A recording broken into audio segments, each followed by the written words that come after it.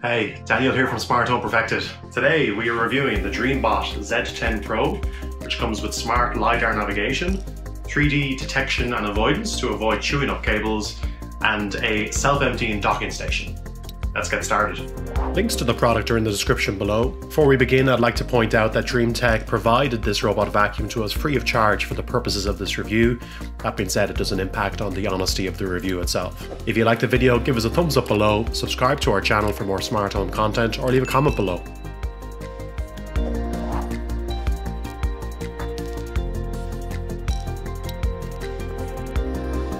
So a quick overview of the features.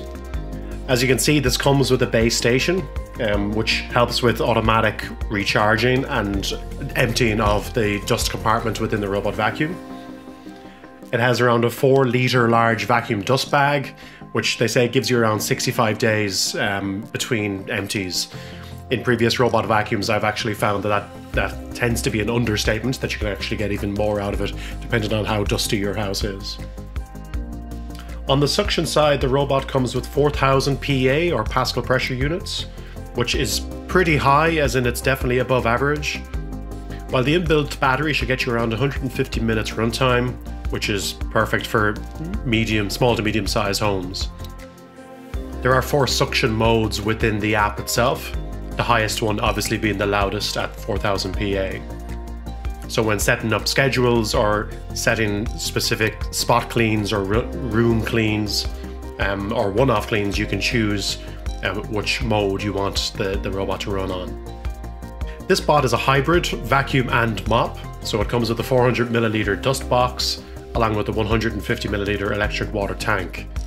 Similar to the different suction modes, there are three levels of water volume that can be adjusted within the app itself. On the navigation side, there's a LiDAR unit at the top, constantly spinning and mapping out the, the, the territory, while there's a 3D obstacle sensor at the front, which dynamically avoids cables or anything that's laying about on the floor. Within the app, then you can set no go zones or uh, do not cross lines um, if there are particular areas you want the robot to avoid. On the smart control side, you can command it with Alexa as well as remote control via the app also. On the navigation side, LiDAR can work in dim or low light environments, which is different to vSLAM technology, which some competitors use, which is essentially a camera inbuilt into the, the, the bot itself. Along with LiDAR and the 3D obstacle sensor at the front, there's also a cliff sensor or an anti-drop sensor at the front, so it doesn't fall off um, at, from, from a height.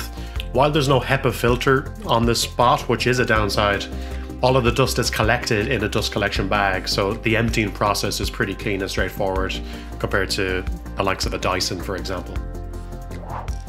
So a quick run through of the app setup.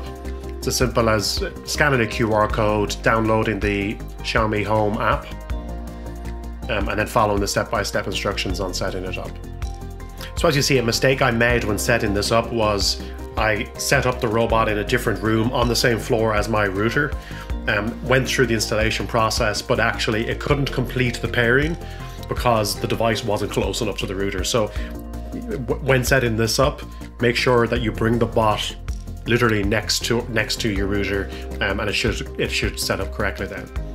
The reason for this is it sets up a temporary network, so it needs to be in very close proximity to work. Once the initial pairing is complete, that temporary network is no longer needed and it just runs off the standard Wi-Fi.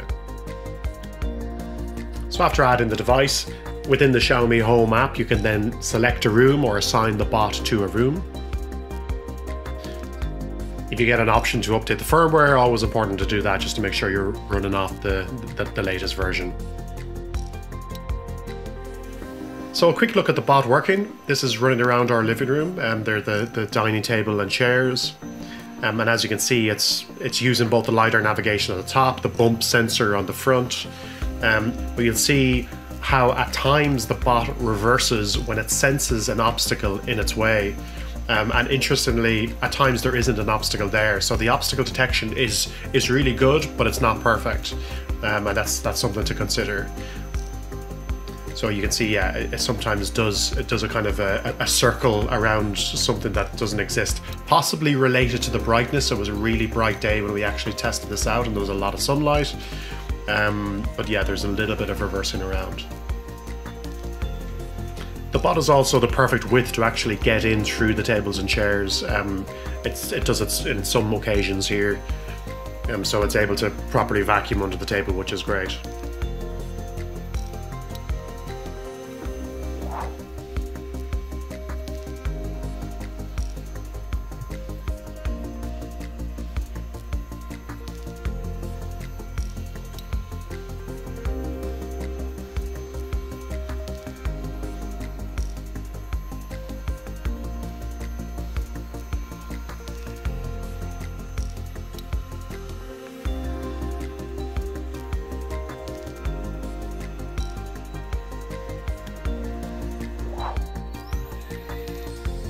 So a quick test that we laid out for the bot, we laid out some cereals onto the ground and set up a spot cleaning uh, cycle within the app.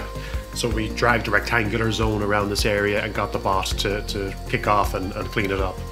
Um, as you'll see, interestingly, it, yeah, it, it, works around the perimeter. So you'll see that it's it, it goes around the foot of uh, the, the cabinet here, um, works right into the base station before then going in a pattern back and forth.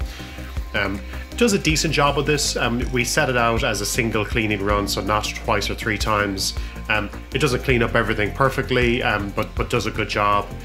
Um, typically, you would probably need two or three runs just to, to clean up absolutely everything. But overall, decent performance.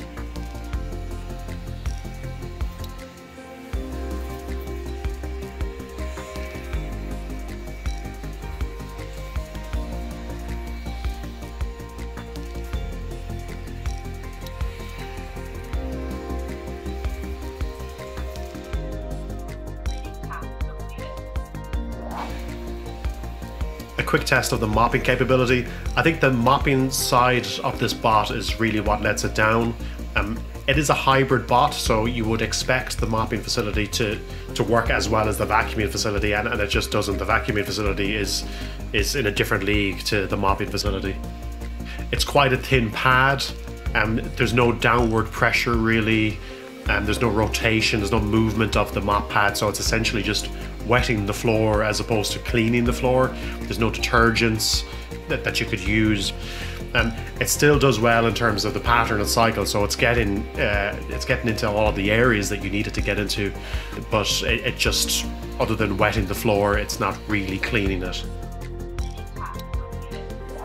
So here's a sped up version of the initial mapping of the, the two rooms that we set it out.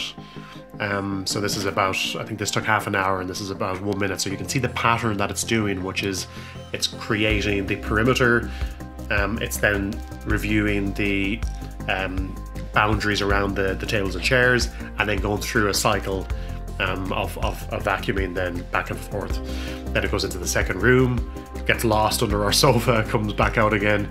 Um, so it's completed the perimeter um, and it works through. As you can see, it did a little bit of a loop there, which again is, is I think, related to that 3D obstacle detection.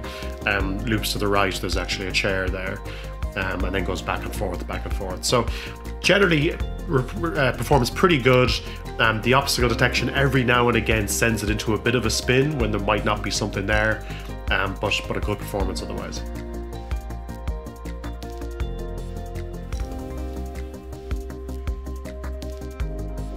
Finally, looking at the emptying capability, interestingly, it took about five minutes um, to actually find the base station. Um, I don't know, I, I, possibly have the base station too close to the foot of the table and too close to the wall.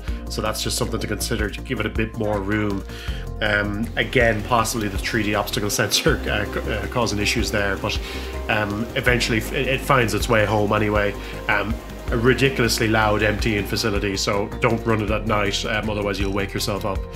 Um, but massive suction, so it, it does the job correctly.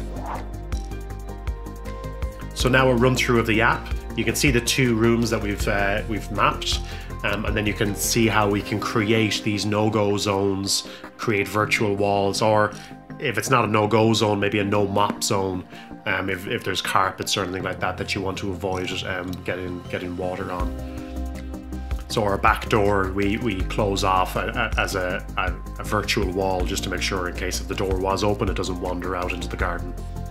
The different suction settings you can see there and the different mop settings um, depending on, on, on how much of a cleaning you need. Um, so a quick look, um, different languages um, in terms of the settings. Um, there's a, a, way to use a carpet boost, which increases the suction if it senses carpet. Child lock is very good because kids are obviously drawn to a, a, a robot wandering around your house. Um, you can set how often you want the dust collection to happen. Um, you can set schedules, which is crucial because you want this running on, on a regular basis to, to maintain your, your home. The maintenance of accessories and how much time is left before you need to actually maintain those accessories. Um, you can change the device name and, and, its location within this, this uh, Xiaomi Home app. A nice feature is the multi-floor maps. Um, so you can, if you wanted to move this upstairs every now and then or downstairs every now and then, um, you can have a different map for those. You don't need to remap it each time. So there you have it, the Dreametech Bot uh, Z10 Pro. Ridiculously uh, powerful suction, really impressive on the vacuum in front. Um, app is quite useful, has all the functions that you need. Let down a little bit by the, the mopping function, um, but there are more dedicated robot mops out there if, if that's really what you want. Great LiDAR navigation, really works well at mapping out your home and, and actively building out that map as, as you know the rooms change dynamically as, as things get moved around. 3D obstacle detection on the balance of things is a, is definitely a plus, is a positive with this, and particularly if you have a lot of you know cables lying around or um, anything that could just get in the way and, and uh, end up being sucked up into a robot vacuum. Um, the 3D obstacle detection definitely does a job there. Um, it isn't 100% right now, but that's something that the, the, the, team could possibly evolve in the future in terms of firmware updates and stuff like that. But the, the tech is definitely in the uh, in the device. Thanks for watching. Hope you enjoyed the review. Um, subscribe to our channel again for, for more content like this. Give us a like below. Thanks for watching.